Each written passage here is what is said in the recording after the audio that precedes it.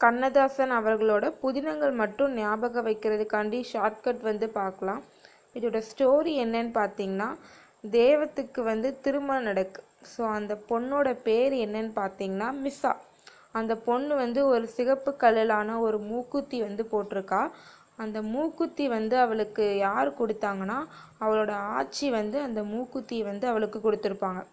So இவங்களோட கல்யாணம் வந்து எங்கே வச்சு நடக்குன்னா பிருந்தாவனம் அப்படிங்கிற இடத்துல வச்சு இவங்களோட கல்யாணம் வந்து நடக்கு.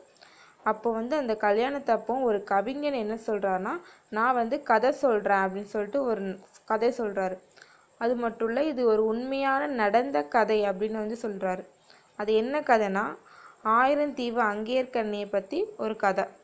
அப்போ திடீர்னு ஒருத்தர் இருந்துச்சு நான் அப்போ ஒரு பாட்டு பாடுறேன் அவளுக்காக அப்படின்னு சொல்லிட்டு ஒரு பாட்டு பாடுறாரு.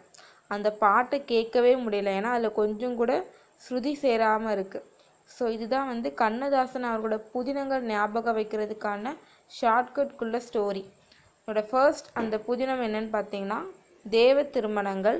ரெண்டாவது வந்து மிஸ்ஸா அதாவது அந்த பொண்ணோட பெயர்னு சொல்லி சொன்னோம்.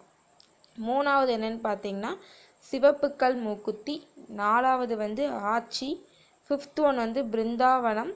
சிக்ஸ்த் ஒன் என்னன்னு பார்த்தீங்கன்னா ஒரு கவிஞனின் கதை. செவன்த் ஒன் வந்து நடந்த கதை. எயித் ஒன் என்னன்னு பார்த்தீங்கன்னா ஆயிரம் தீவு அங்கேயர் கண்ணி.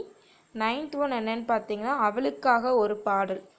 டென்த் ஒன் என்னன்னா ஸ்ருதி சேராத ராகங்கள். இதுதான் வந்து கண்ணதாசன் அவர்களோட புதினங்கள்.